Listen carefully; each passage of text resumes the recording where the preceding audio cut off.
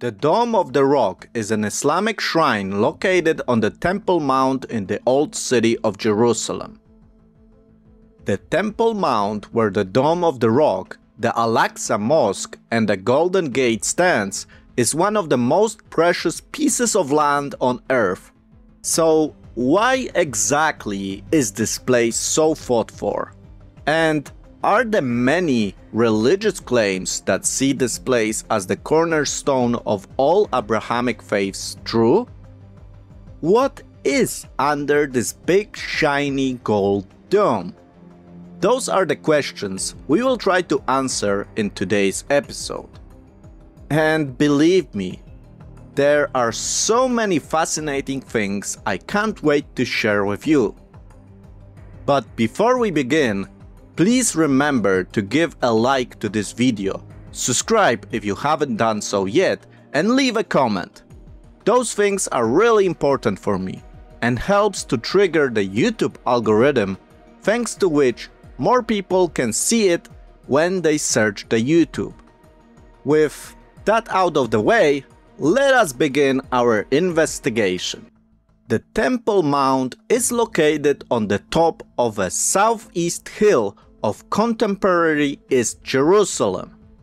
Beneath the Temple Mount, archaeology has documented the original settlement core of Jerusalem during the Bronze Age and the Iron Ages. In other words, this hill is the original location of the biblical city of David, which David conquered from the Jebusites and made it the capital of the 12 tribes of Israel. The top of this hill is believed to be the Mount Moriah, upon which Abraham's faith was tested. In the biblical account, we read that Abraham left his servants, probably in the city of Salem, where future Jebus and then the city of David would be established. He would New Salem, as in Bereshit chapter 14, we read that Abraham meets Melchizedek, the king and the high priest of Salem. To learn more about Melchizedek, check out my video about him. Abraham then went up to the Mount of Moriah where he was told to sacrifice his son. Mount Moriah was a new place for Abraham, which God showed him. So, it was definitely not Salem. Abraham would not sacrifice his son in the city, but at the mountaintop as it was done in those times. Let me stop here for a moment. I don't know what you think, but for me, this is always a very disturbing fragment of the Bible. What was Abraham feeling at that time? How did he feel when his son, his beloved son Isaac, asked him, Where is the sacrifice we are going to kill for God? Abraham answered, God will provide. And God did. As Abraham was ready to strike his son Isaac, God sent an angel to stop Abraham and provided a ram that was the sacrifice instead of Isaac. By the way, can you imagine the relation between Isaac and Abraham after this episode of their life? What did Isaac think of his father who was willing to sacrifice him? I don't have answers to those questions, but it must have been very difficult for them. As the Bible story progresses, we hear again about Mount Moriah in the times of King David. As you remember, David was feeling ashamed that he is living in a nice new palace while the Ark of the Covenant is still in the tent. After all, the Ark of the Covenant was God's throne on earth.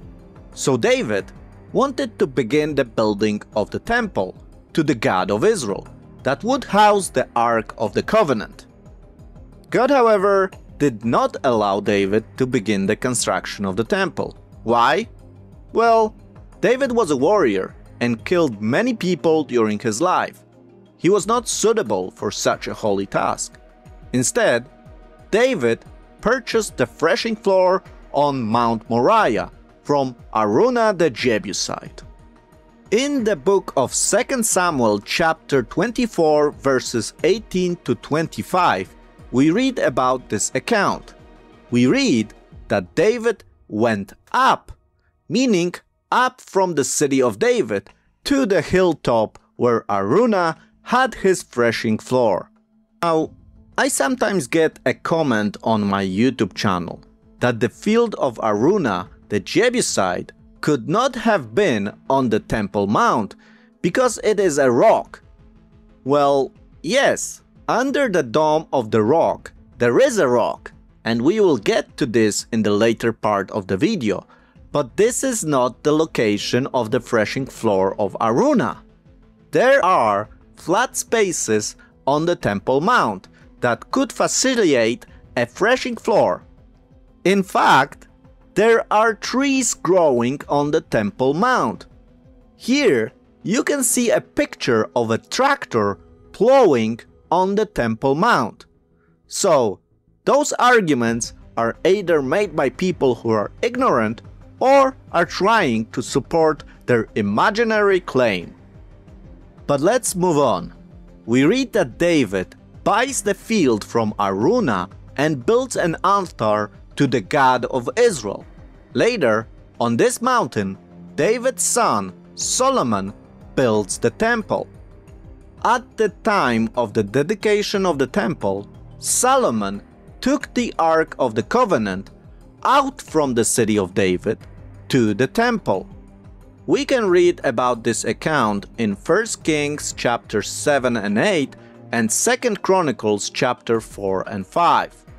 To learn more about the location of Solomon's temple, please see my latest video on the evidence found on the Temple Mount. I am currently working on a new video that will talk about the water supply on the Temple Mount, which will be another proof that the temple was not located in the city of David, as some believe.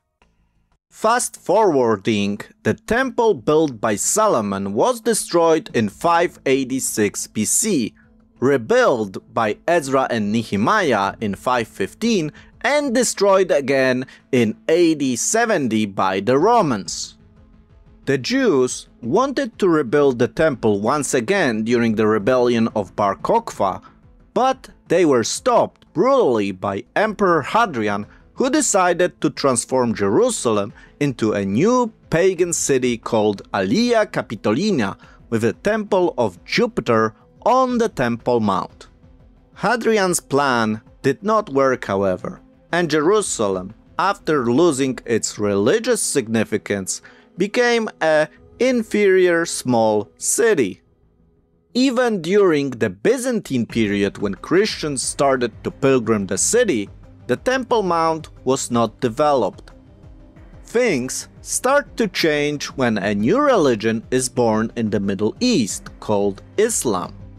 It is in this time that Jerusalem is conquered by Muslims who see the Temple Mount as an important site for their religion. First, it becomes important because Muslims also trace their heritage to Abraham and see the Temple Mount as the original place where Abraham was to sacrifice his son Isaac. Second, according to Surah 17 of the Quran, Muhammad experienced a miraculous night journey from the Great Mosque of Mecca to the Al-Aqsa Mosque where he prayed. The story says that from that place Muhammad visits the heaven where he leads prayers and raises to heaven to receive instructions from Allah. I must say here, however, that the city of Jerusalem is not mentioned by any of its names in the Quran, and at that time the Al-Aqsa Mosque didn't even exist. The mosque was originally built as a small prayer house erected by Umar, the second caliph of Rashidun Caliphate, after the Muslim conquest of the Levant in the early 7th century. It was rebuilt and expanded by the Umayyad Caliph Abd al-Malik and finished by his son Al-Walid in 705. The mosque was completely destroyed by an earthquake in 746 and rebuilt by the Abbasid Caliph Al-Mansur in 754. Another earthquake destroyed most of Al-Aqsa in 1033, but two years later, after Fatimid Caliph Ali az-Zahir built another mosque whose outline is preserved in the current structure. The Dome of the Rock initial construction was undertaken by Umayyad Caliphate on the orders of Abd al-Malik during the second fitna in 691 to 692 AD and it has since been situated on the top of the site of the second Jewish temple, which was destroyed by the Romans in 70 AD. The original dome collapsed in 1015 and was rebuilt in 1022 to 1023. So as you can see, the Dome of the Rock and the Al-Aqsa Mosque are structures that are built on the place that belonged many many years ago to the Jewish people. So if you are angry that the Jewish people are still asking about the Temple Mount, this is the reason. They have a very long heritage to this place, and they believe that the most important building to their faith was located in this exact spot. But let's talk more about the Dome of the Rock. The inner dome of the Dome of the Rock is original and is made of wood. The oxidized copper dome, which looked like gold, was installed by King Itzaud in 1965. This was one of the things done in reaction to the Pope's visit to Jerusalem in 1964. The copper dome was replaced by King Husseini with the money from Saudi Arabia in the 1990s with one of pure gold because the existing one was rusting and needed to be replaced. In 1994, a new gold-plated exterior dome weighed a total of 80 kilograms was installed at the cost of $15 million. This information is of course quite interesting, but what is fascinating is what we can find inside the structure. So let's see what's inside the Dome of the Rock. This picture shows the rock, the Shakra in Arabic, which is the top of Mount Moriah. The Dome of the Rock is built around this mountain top. Archaeological features cut into the rock show the foundation trench of the southern wall of the temple and the western and northern scarps at the foot of which the temple walls were built in the time of King Solomon.